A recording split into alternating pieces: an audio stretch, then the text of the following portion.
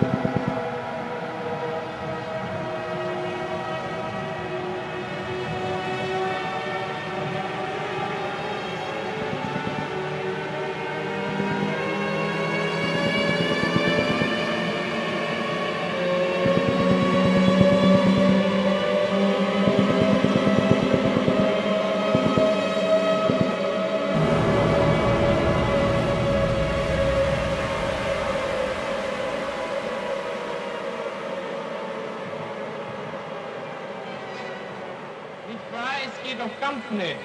Ja, fabelhaft. Das hätte ich mir nie träumen lassen, als ich schwer verwundet in Russland lag, dass ich noch einmal tanzen würde. Haben Sie früher sehr gern getanzt? Nein, ich habe noch nie getanzt. Ich habe es jetzt erst als Amputierter gelernt. Sie haben doch beide Beine amputiert. Ja, Und doch macht es Ihnen Freude. das, ja, das Leben ist doch schön.